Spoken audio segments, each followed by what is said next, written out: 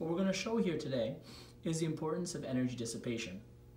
In most structures, energy dissipation comes from ductile elements that will yield during an earthquake. Now, this ductility means that the structure will often undergo damage, at least in conventional bracing or in, by forming plastic hinges, ideally in beams, not in columns. And with energy dissipation, we can avoid a lot of this damage and it's generally what's called a low damage design or a low damage approach. And we do this by integrating technologies such as uh, Quaketek friction dampers, which will remove energy very efficiently. Let's explain how it works. So, as the earthquake starts to stimulate the frame, you'll start to develop forces. Now below the slip load of the damper, you won't actually get any slip, any movement as the force gets higher, we'll start to dissipate energy.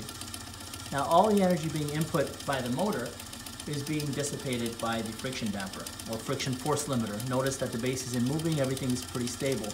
Regardless of excitation frequency, the entire system stays stable and we dissipate the energy being input.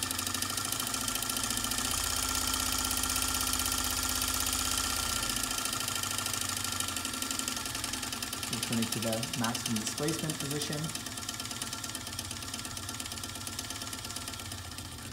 The overall system is stable. Now we can use the underlying frame as well to resist those input forces,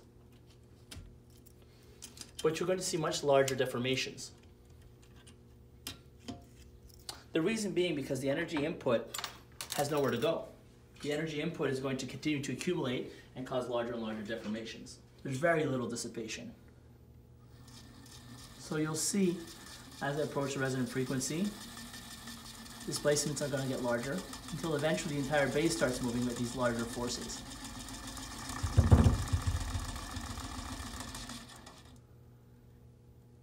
There's no energy dissipation, so the frame continues to move until eventually all the, en the energy has disappeared.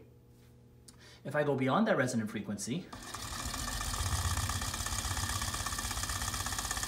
I don't get resonance, returning to it.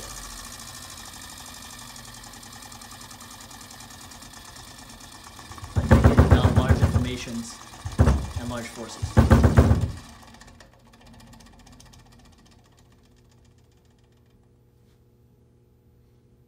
Thank you.